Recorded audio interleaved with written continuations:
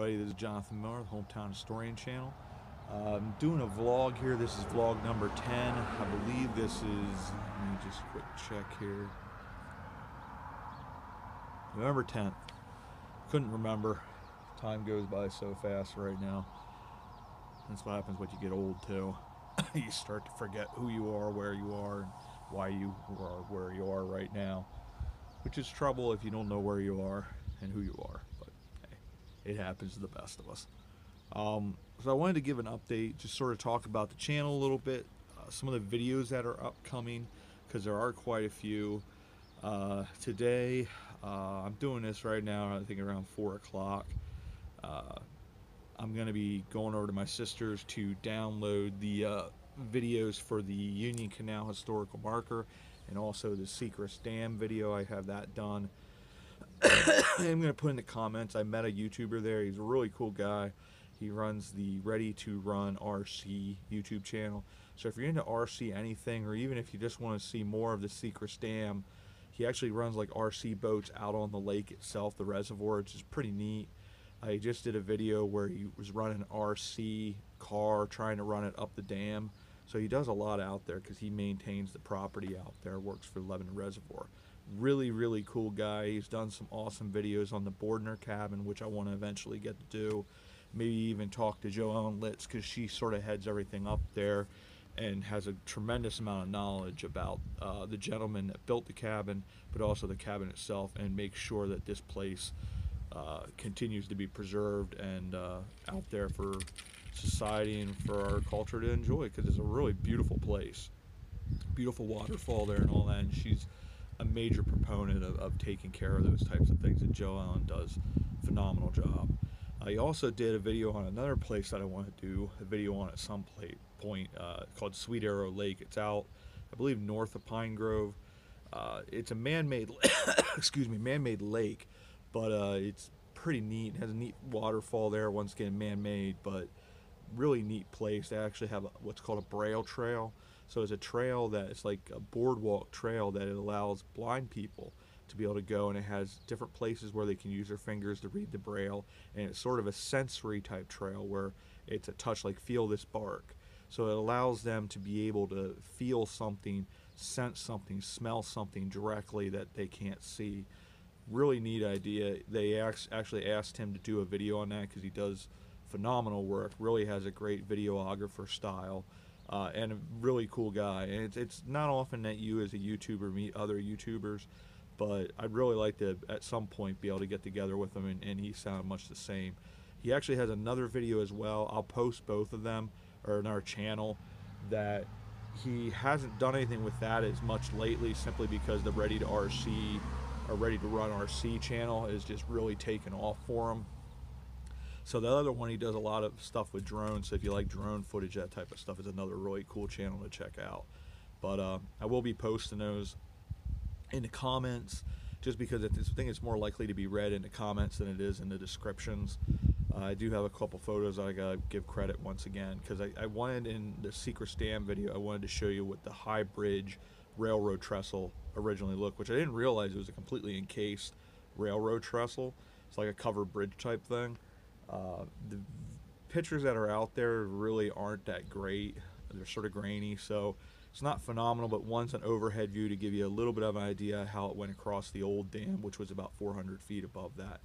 But uh, some of the things I wanted to talk about, uh, the videos that are coming out uh, next. I'm getting them out pretty much every single day. I'm having to load them at my sister yet because my internet's just something's wrong with my modem, and we're in the process of trying to get that fixed. So I can't load them from my house right now, so I'm just loading them from my sister's. Uh, I've been loading about two a day just simply because I have a lot of smaller videos and I just want to put more content out there because I missed two weeks. Uh, but I'm putting, like I said, I'm putting the Union Canal up today, uh, historical marker, and then the Secret Dam. Tomorrow, I'm hoping, possibly going to be getting up the videos for Conrad Richter, who is a Pulitzer Prize winning author that lived in Pine Grove, and there's a historical marker for him in front of the house that he lived at till his death. And uh, then I'm also doing another author who was actually a good friend of my dad's, Richard Wheeler, who wrote a lot of Civil War and war books. Uh, he also was uh, a film advisor, military advisor for the film uh, Flags of Our Fathers for Clint Eastwood. Uh, he had served at Iwo Jima. Uh, Richard was a really, really cool guy and a great writer.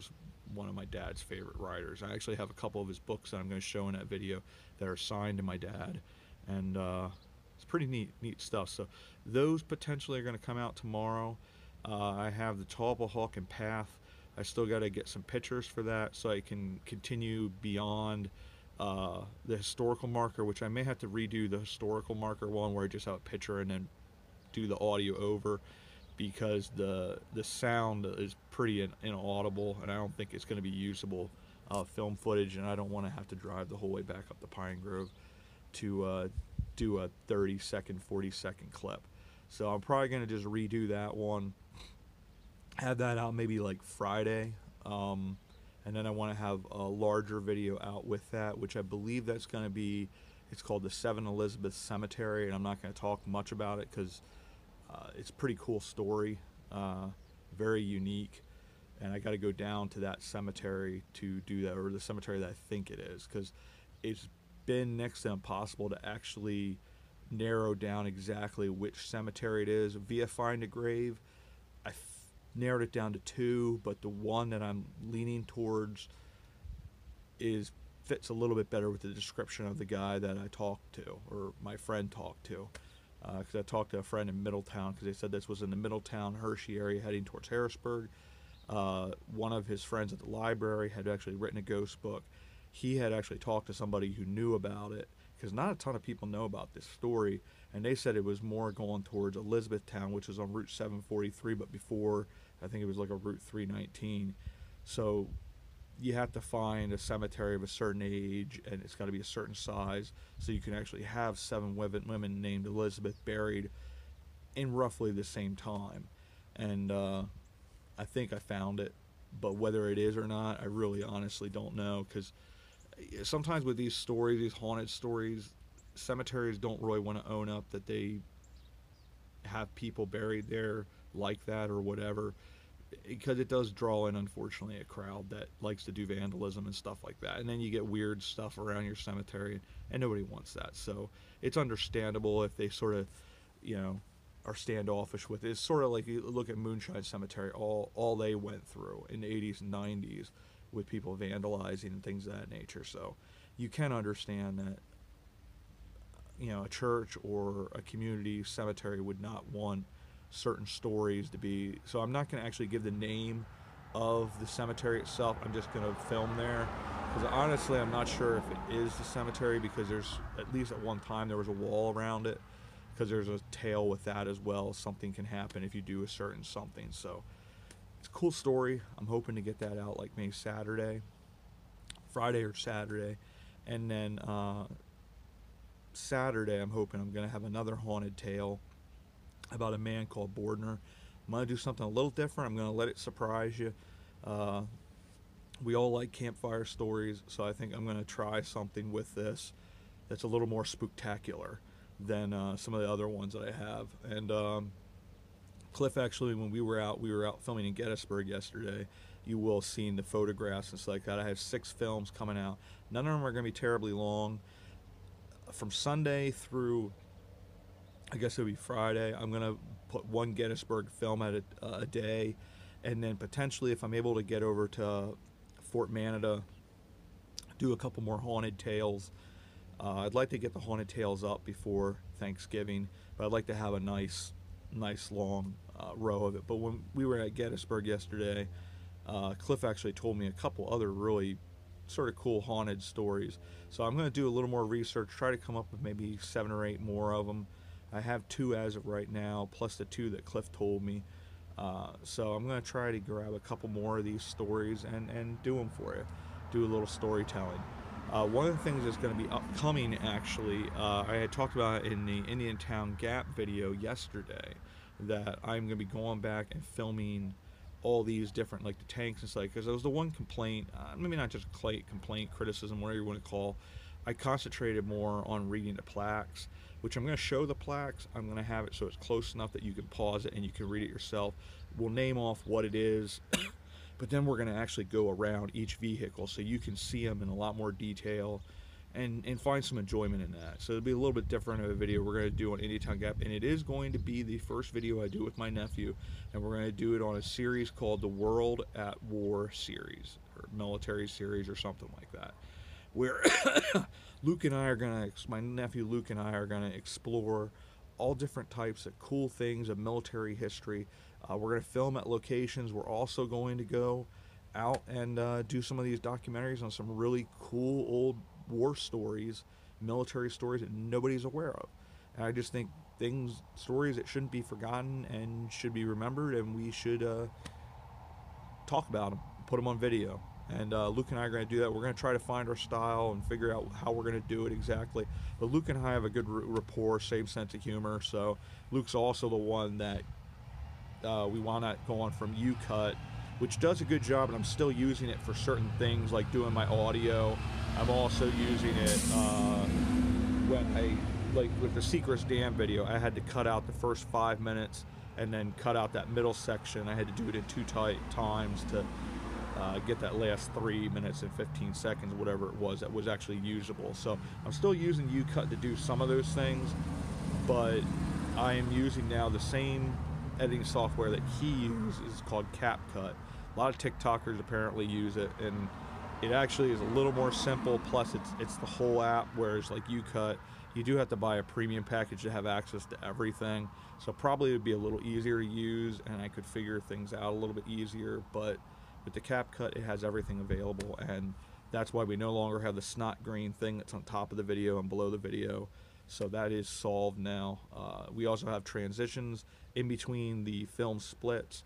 Either I'm using right now like a black fade or a white flash. And I just sort of think the white flash works well, like right after the intro and outro, and gives it sort of a different look. And then you have in between the video snippets, which in some of these Gettysburg videos that are coming up, there'll be quite a few of those. And I have the black fade, and it just gives it a nice, smoother transition for the film. Uh, so I have that world world at war, you know, military history series, whatever it is. That'll be coming up at some point. I'm also uh, going to be starting some of those uh, the women's videos. I have two videos as well. I want to try to get done by the end of the week, and hopefully get them released sometime next week. Colleen D and Kate had uh, both sent me a Pennsylvania historical Marker series video or they sent me the pictures and I'm going to make the video off of that, giving me a tidbit of the history and that type of stuff. And I'm doing a little more researching and adding what I need to to make the whole video. But those are the two first viewers submitted videos. They've just sent them to my email, um, the hometown historian at gmail.com, and then I can download those pictures and then give credit to the, the individual, the viewer that has sent those in. And like in Colleen's case, I will also wind out uh, giving credit uh, to her uh, for her uh, Instagram page as well. Because uh, I like to get her some more subscribers and, and followers or whatever they call it. Because all of them have different names for viewers, followers, subscribers, whatever.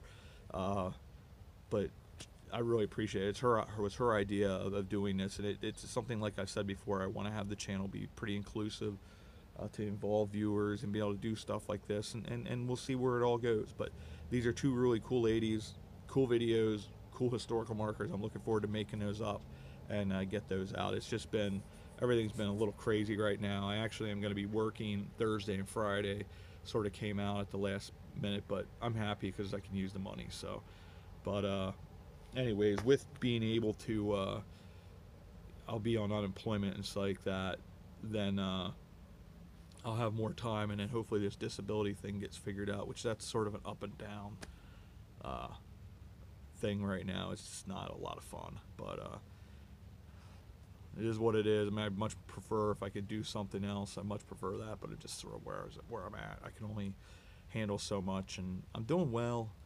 Uh, the Seacrest Dam thing makes me sound like I'm dying at times, but most of that's cut out. Um, the harder part of the hill, but it's I'm doing I'm doing well. I actually am doing really well. Like I handle Gettysburg. There's a lot of hiking uh, up on Devil's Den, going up on top of the rocks. I was able to handle it. It's tough, a little uncertain, but I was actually really happy with what I was able to do because that's the most hiking I've been able to do in a while. I was tired, a little sore, but I'm not actually that sore today. So it uh, it worked out good, and I am watching myself and being really really careful. Uh, Cliff was really watching as well, just making sure I'm not pushing myself too hard. So it was a fun day. We are talking about doing uh, potentially going back and doing. There's so many monuments there, and a lot of them are monuments where they're, they're specifying where a certain unit was during the battle, and you know a lot of those monuments nobody sees. They see the big ones like the Pennsylvania Monument or the General Warren statue uh, the General Meade there at the you know the angle there where Pickett's charge hit and it, the lines actually broke. Those are the type of statues that people see a lot of times. The little markers that specify the men that actually fought there. I think it'd be cool. Like Cliff was the one that came up with the idea and talked about, hey, we should go and, and just there's got to be something there on the internet through Gettysburg National uh, Battlefield that has where each of those markers are because then you know because of the Civil War as well, there's so much documented. You'd be able to say, okay, this is the first Connecticut Artillery Division. This is the town in Connecticut where they were from. This is when they enlisted. These are the men, and it, just to give a little more information, so it, it sort of it personalizes history a little bit more. And I think that'd be something that'd be cool to document. Uh, Cliff and I have talked about. I think it'd be a really cool sort of collab series that we could do and, and people could enjoy. So that's something that we've talked about doing. And Gettysburg really isn't that far away for us. And I think it'd be something that'd be fun to do. Maybe hit six to ten of those monuments in a day, and then uh, do the audio over pictures or whatever, and, and, talk a little bit more in depth about each of those units, uh, where they were from, who they were, and you know what battles they fought in, that type of stuff, the history of the unit. So I think that'd be pretty cool, and that's something we're looking forward to doing. I am uh, hoping in the next couple weeks to be able to do the first woman women uh, hometown heroine, the heroines of hometown history, uh, with uh, Lindley Murray's mom and, and her whole story. So I'm hoping I'll get get to that soon.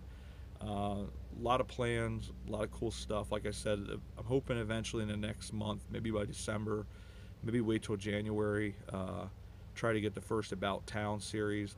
I also was pretty excited watching uh, one of JP videos, uh, Jay's videos. He did Jim Thorpe. I really like his videoing style, and it gave me a lot of ideas for uh, mainline attractions or main street attractions, and then also walking the main. Just how you video. Like I do a lot of different angles with my photography. Well, I got to do that with my filming too, and uh, I want to try to do that just to show the architecture in a little more of a unique view also use music a little bit more where I'm not talking. It just sort of gives you a cooler sort of experience uh, where you're able to watch a video where it just doesn't feel it feels like you're just you know going through it, and it's just a really good experience. Shows the town in a really good light, and it's not just me walking with the straight camera filming, just testing things and seeing what works. And like I said, I need to get together with my friend Kurt and. Uh, he he has a lot of experience in filming and then get some of his ideas and and try to come up with a style that really works and is fun and do that. I also want to at some point I want to get up to do that Route 325 that Cliff talked about. That's a really beautiful drive. Um, probably won't be able to do that until say like the weekend at the earliest. Because like I said, Thursday and Friday I'm gonna be working all day for the most part because we are getting we're almost at the very end of mowing season. We had like four or five frosts in a row, but it's slowed the grass down certainly but it hasn't like stopped it. So there are people that still want their lawns mowed and this week so far has been pretty warm. So i got that to look forward to but uh yeah it's channel's really growing. Uh some of the things in the future as well. I think when we get around 800 subscribers because we're only about 300 hours away from the watch hours being reached for being a youtube partner uh 534 subscribers, I think, was the last I looked. Uh, so there's quite a ways for that, and that is something that's going to take time. We got the Milton Hershey video that'll be coming up at some point in the next week or so, probably towards the end of next week when that will be dropped. I'll film it probably this weekend. Uh, that should gain a little bit of attention. It's, it's, you know, and the Gettysburg stuff is something that's going to be searched a little more because you do go up and down. Like I'll have videos that reach 200, 300 views in no time and then I struggle to reach 100 views. And it's it just is one of those things. Is how the algorithm works and that type of stuff. It's not discouraging or anything. It's just you know Cliff and I talked about this a lot, and uh, it's just one of those things you prepare for, prepare yourself for. and you watch and you just try to figure out what you got to do to try to get those views up and that type of stuff to just get more attention. I still want to do that under a minute hometown history. I just had a lot of struggles with trying to get, although my phone got possessed or what happened, but every single time I tried to do the video, my film was sh- shutting down. Uh, and then it wasn't saving it. Sometimes it was just like doing all kinds of weird stuff that it hasn't done ever before. But around this Palm Monument, maybe a haunted history video for that, how it kills phones. But uh, was having issues with that. But I do want to try to get that done at some time. I'm not sure if a YouTube short's going to really help the channel or not, but I'm going to try to do a couple of those. Uh, something it's hard to fit something in a minute or under a minute, but uh, maybe do a little bit of introduction to the channel as one of the YouTube shorts as well, and just say, hey, check us out, see what we all got to offer. Pretty cool channel, a lot of fun. A little biased, but it's awesome. But uh, also, uh, what else I gotta say?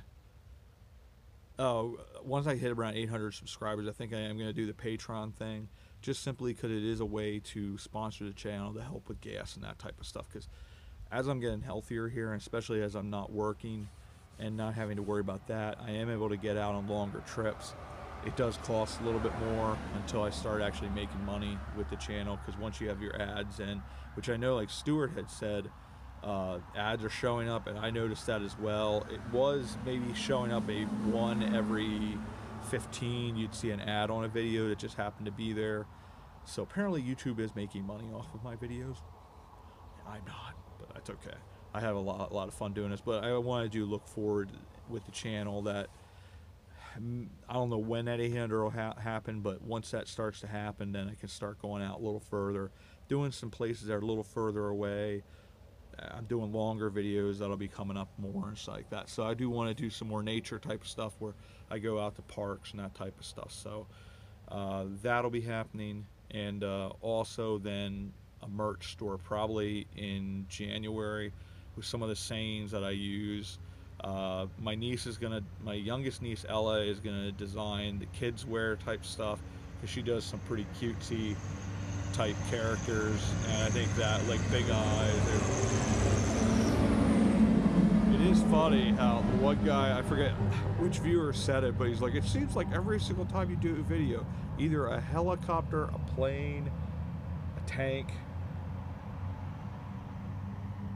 an aircraft carrier, the Death Star, something shows up and it starts going kablam, kablam, pew, pew, pew. And it was a tractor that just went by, which we get quite a few of those, but that was an especially loud one. But, anyways, um, my niece is going to design like the cutesy sort of kids wear, all those types of things. And then my older niece, Bethany, she's actually going to design the logo for the channel. Uh, we were talking when we got together for Cliff and I's party on Sunday, we were talking a little bit more of my artistic artistic ideas, but I'm going to trust to her artistic influence in that regard because she really knows what she's doing. She's going to design more like the adult wear, uh, that kind of stuff. So I'm hoping maybe January, Jan- January, February, we'll maybe have a merch store, um, and we'll have fun with this. And then we'll come up with more and more ideas to build the channel and and continue to grow. And uh, once again, I want to say you guys are the best, and this this experience has been great. Being able to go out and do this has been awesome. I do want to thank also people like Cliff, of course, uh, the Wandering Woodsman. He's my best friend. Uh, really, in essence, getting me into this. And I also want to like I do want to do a video here coming up, and hopefully in the next couple days, sort of like a vlog, but it's more like the channels that inspire me, that I admire, that you know, friends and stuff like that and put that out there because I do think part of the YouTube community. I think sometimes we get caught up in the idea like, oh, we're competing, and it's like at the end of the day, like like Cliff and I. I mean, obviously Cliff has over fifty thousand subscribers. I'm only five hundred, but in a lot of ways we share a lot of the same viewers and subscribers. Nobody's going to be like, well, somebody might be, but for the most part, people are going to probably say, hey, I like both of those guys. I like both of them, what they do and enjoy when they do videos together and that type of stuff. So there's really no reason for us to be competing. It's better for us, I think, to support one another because we grow the entire community. And uh, you know, somebody like Jay, I mentioned him earlier. I really like his his videographer style. Uh, really quite cool, and it's going to be quite an influence on my channel because that's where Cliff is and where JR. That's where I want this channel to be at some point. I want to have my own unique feel to it. I want to make my own way and stuff like that. But at the same time, the things that they do really are quite impressive with their channels. So, and that's why they've grown like they have. That's why they do well. They work very, very hard at what they do. And uh, if you can find individuals like that that you hope you can call your peers, but you know you can be more like that and do more of a job like that, it's it's, it's a plus. So, with that, I'm gonna I'm gonna stop yip yapping. Uh, hopefully get up to some more adventures and whatnot. I'm not going to do any more filming today. I just want to go download these videos and uh, get ready for tomorrow to go do some mowing. And uh, we will see you uh, on our next adventure, and we will see you all about town. Thanks, everybody.